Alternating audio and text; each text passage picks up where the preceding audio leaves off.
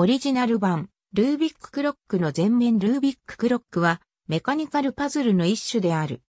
ルービックキューブと同じく、エルノールービックの名前は付いているが、考案したのは、クリストファー・シー・ウィグスとクリストファー・ジェイ・テイラーの二人で、特許も取得している。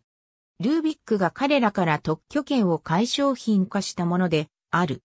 最初に売り出されたのは1988年である。日本でもマッチボックスジャパンから発売された。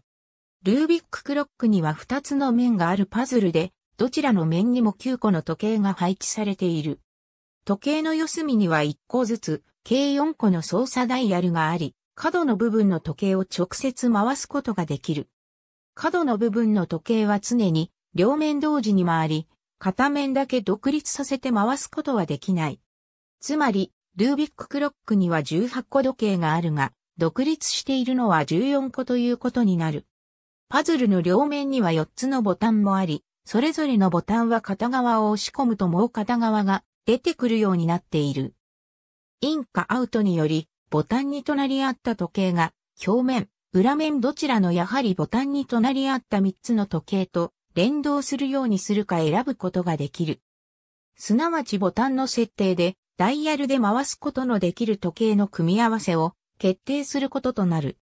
ダイヤルとボタンを使って12個の時計をすべて上向きに合わせるのがルービッククロックの目的となる。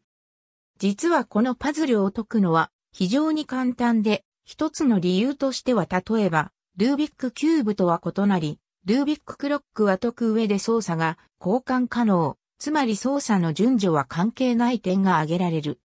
これは操作をボタンを設定してダイヤルを回す動作単位と理解した場合であって、もちろんボタンの動かし方とダイヤルの回し方は交換可能ではない。その結果、完全な解放は他のパズルに見られる群論よりも、より優しい線形代数のテクニックを用いれば得られることとなる。ウィキメディアコモンズには、ルービッククロックに関するメディアがあります。ありがとうございます。